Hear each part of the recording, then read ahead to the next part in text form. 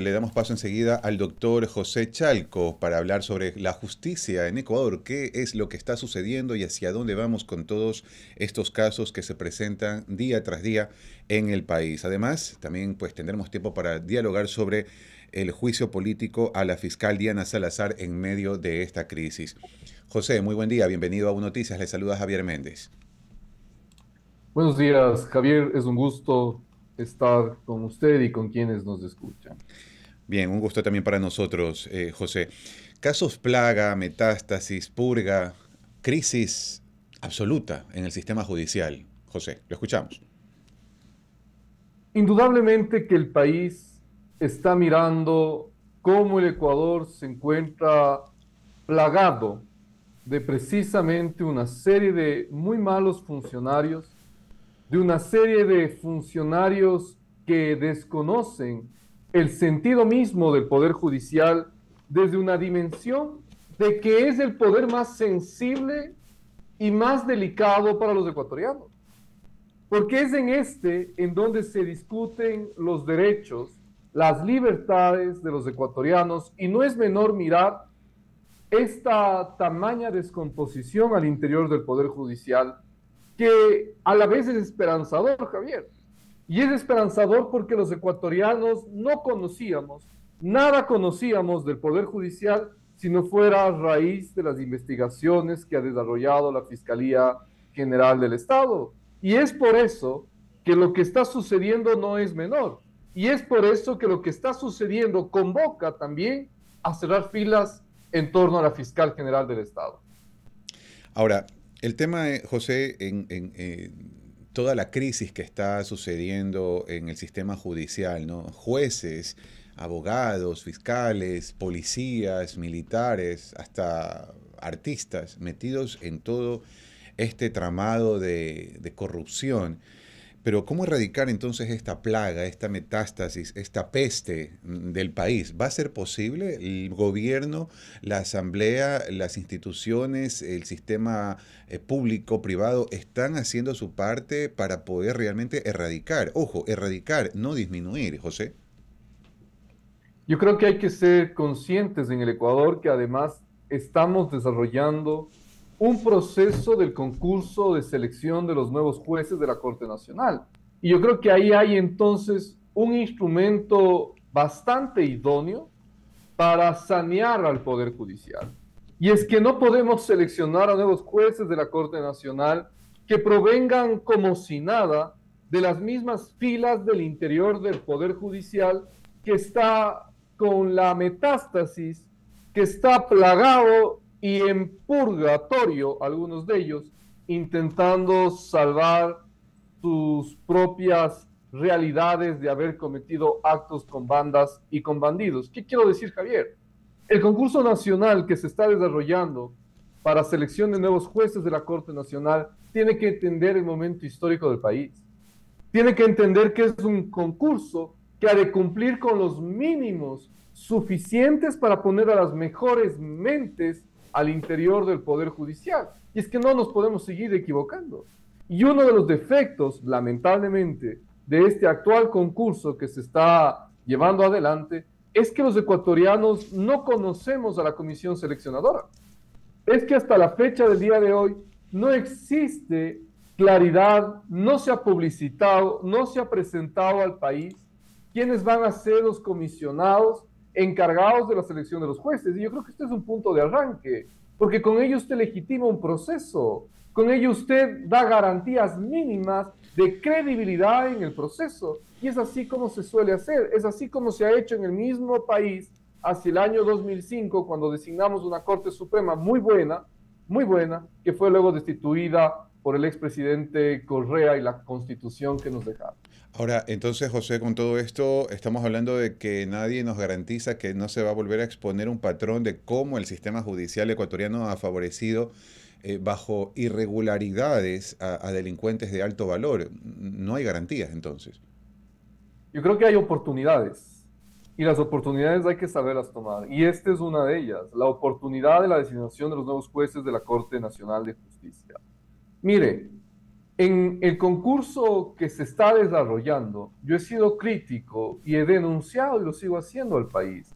El reglamento del concurso es un reglamento que hace travesuras y que no actúa con rigor jurídico para la selección de los nuevos jueces. ¿Qué hace el reglamento?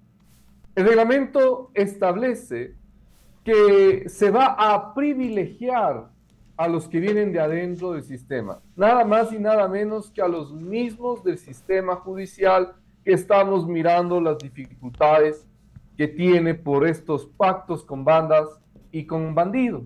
¿Y cómo hace aquello? El reglamento que se aprobó para el concurso de los jueces determina que los concursantes podrán presentar, si es que tienen sentencias, es decir, a favor de jueces, o si tienen dictámenes fiscales a favor de fiscales, seis documentos para valorarlo como 24 puntos. Y si usted es de afuera, si usted es externo, deberá presentar para esa misma valoración de 24 puntos 12 documentos, el doble. ¿Eso no es un error? ¿Eso no es un direccionamiento? Es decir, apreciado Javier, hay oportunidades, pero hay que saberlas tomar. Y el país requiere que no podamos simplemente invisibilizar lo que sucede al interior del Poder Judicial y decir que aquí no ha pasado nada. Hay que ser coherentes y sensatos en que es necesario sanear al Poder Judicial. Pero por eso, y eso requiere de decisión. Precisamente, José, pero ¿de quién entonces va a terminar siendo esa decisión?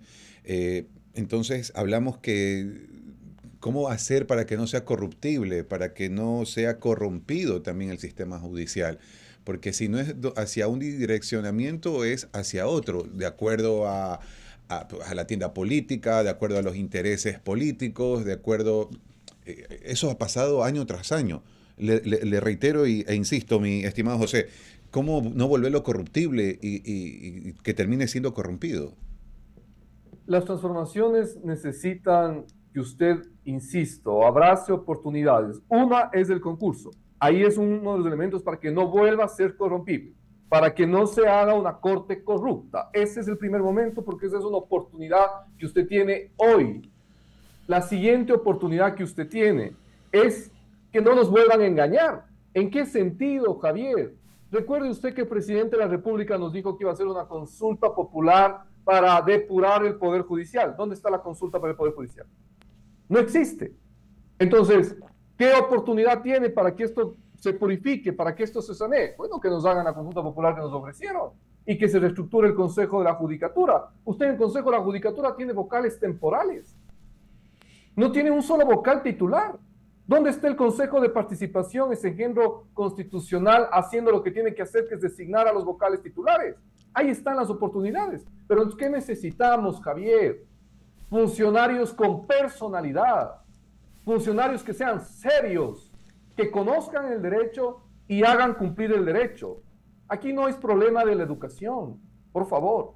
Aquí no es problema de educación. Los abogados cuando nos graduamos tenemos un juramento especial a la graduación, que es hacer cumplir y cumplir las leyes de la República. ¿Cómo usted encuentra entonces abogados que están asociados a organizaciones con objetivos ilícitos?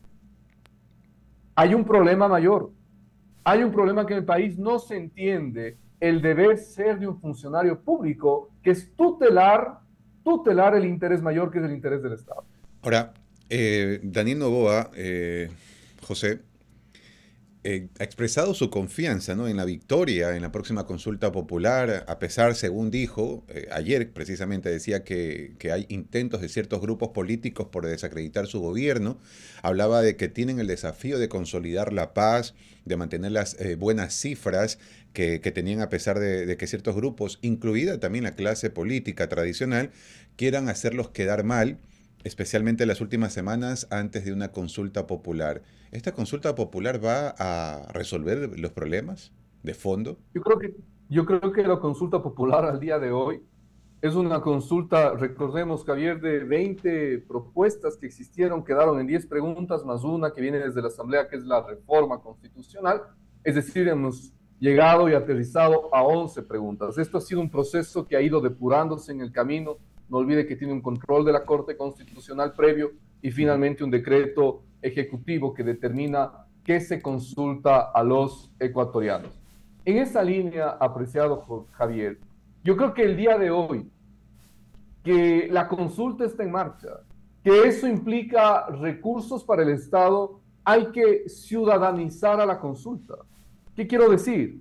Quitarle de la lógica del apoyo o no apoyo a un gobierno, quitarle de la lógica de la favorabilidad que se dé a un gobierno de turno y si no, en otro sentido, en contrario sentido, hacer que la consulta sea de los ciudadanos. Y digo, ¿por qué de los ciudadanos? Porque hay preguntas muy buenas, hay preguntas acertadas. Y esto ya está lanzado. No podemos los ciudadanos de bien permitir que se gaste 60 millones y no genere ningún efecto. Cuidado. Ya hubo el momento para criticar. Yo primero, fui uno de los primeros que criticó y dijo la consulta es burlesca en esas 20 preguntas. Hoy han quedado 10 del presidente que están mejoradas. Pero ya está lanzado. Y yo creo que hay que ser responsables con los recursos del Estado, que son de todos los ciudadanos. Por eso la consulta hay que ciudadanizarla.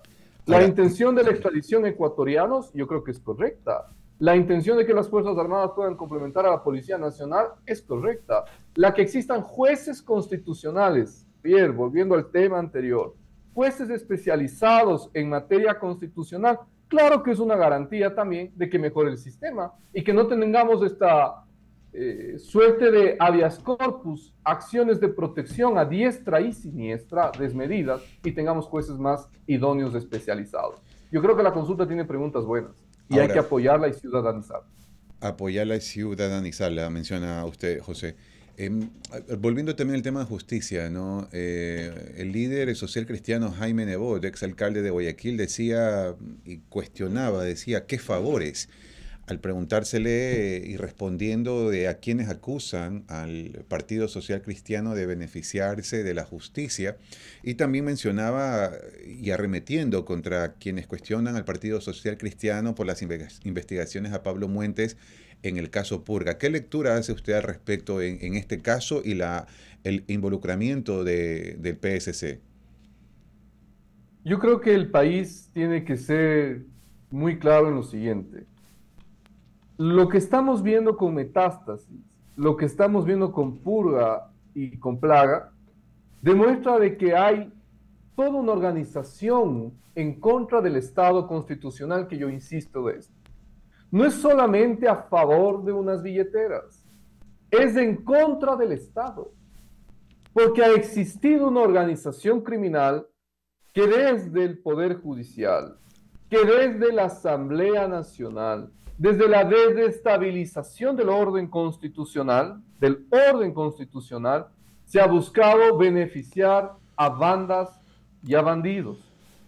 Es claro, y es quizás comprensible que hoy existan distintas voces para querer desvirtuar y desnaturalizar las investigaciones que se están realizando.